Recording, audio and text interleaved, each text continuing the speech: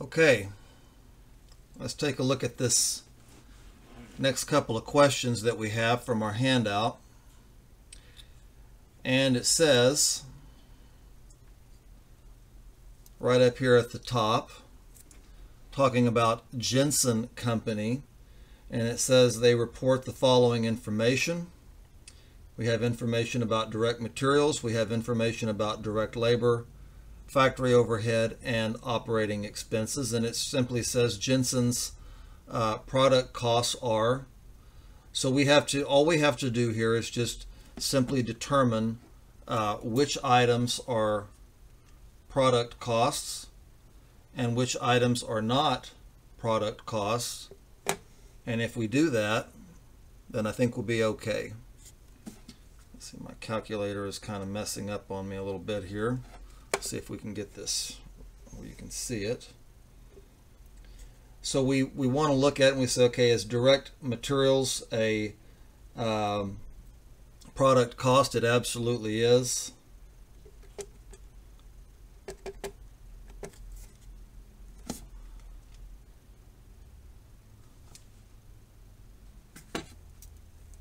My calculator is on the fritz, so we're going to do this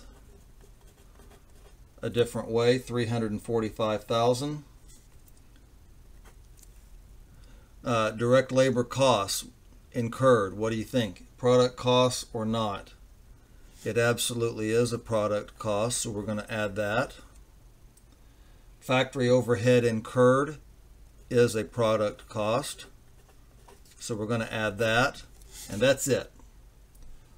Operating expenses are absolutely necessary for a company uh, to operate, but they're not part of product costs. So if we think about a multi-step income statement, and we have looked at one, we would have our sales revenue up at the top, and then we would have cost of goods sold. What I want you to understand is that all three of these items will eventually become a part of cost of goods sold. Operating expenses are uh, all of our other types of expenses that we have. We're going to have, we're probably going to have some some advertising. We're going to have some administrative wages. We're going to have some uh, shipping costs for our product and so on. That's all part of this 175,000. So if we if we take these three numbers and we add these up, I believe that we will come up with $995,000 and that is our answer. So we can go ahead and put a check mark by these first three and put an X by operating expenses because that is not a part of, those expenses are not a part of what they're asking us for, which is product costs. Okay. The next question says the Darwin Company reports the following information. And we have several items here. And then if we get to the end, they, we actually find out what they want us to uh, determine. And they're asking us for period cost. Well, I want to go back up here for just a moment.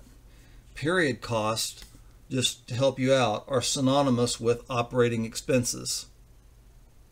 Period costs and operating expenses are the exact same thing. Okay, so we have some items here.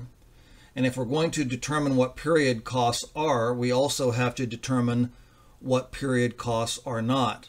So our first item up here says sales. Well, sales are not a cost at all. They're not a product cost and they're not a period cost. So we can go ahead and put an X by that. We're not going to count that. Next item, direct materials used. Well, in our previous question, we just said that direct materials are a part of product costs. You're being asked for period costs, so we're going to put an X there as well. Depreciation on factory equipment. Okay. No. Depreciation on factory equipment is a type of factory overhead. So when we talk about depreciation, the part that is related to um, a factory setting is going to be a product cost. Any depreciation that is for, say, for example, an administrative building, uh, that sort of thing, company cars, so on and so forth, uh, those would be period costs, but we don't have that here. Indirect labor. This is also factory overhead and is not a part of period costs. Direct labor, definitely a product cost, not a period cost. Factory rent, the key word here is factory. This is also a part of factory overhead, so we're going to put an X by that as well. Factory utilities, you guessed it, is factory overhead. We're going to put an X by it. Sales salaries expense, okay, have nothing to do with uh, the manufacture of the product. We don't get into that until after the product is made.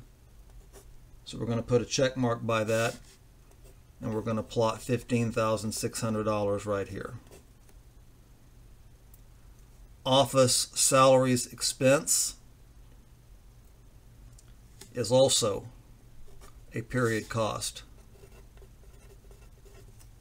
We're going to plot that there.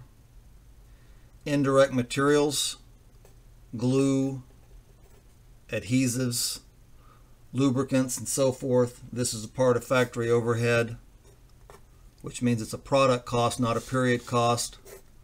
So now we can add these two items together.